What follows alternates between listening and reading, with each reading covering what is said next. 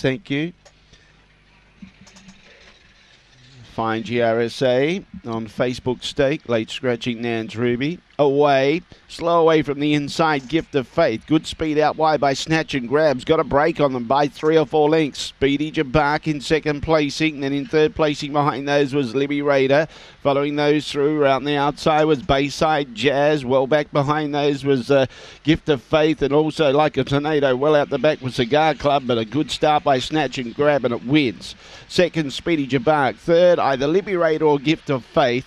Behind those Bayside Jazz, Like a Tornado, and Cigar Club always at the tail end of the field. Late scratching was Nans Ruby, and it's 22.64 the time.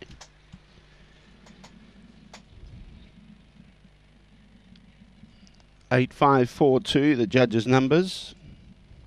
Eight five four and two. If you had an investment on UBet uh, on the fixed market prior to Nans Ruby being a uh, scratching, your deductions would be 19 cents in the dollar for the win and 16 cents in the dollar for the place on UBet on the fixed market. So 19 cents in the dollar for the win, 16 cents in the dollar for the place. Snatch and grab, 13.50 and 3.30. Speedy Jabak, $1.80. Libby Raider, $1.20. Quinella, $60.90. The exacta uh, 8 and 5, 164.90. Trifecta 854, 1079.40. Any twos, 5 and 8, $20.10. 4 and 8, $6.60. 4 and 5, 3.30. Extra double.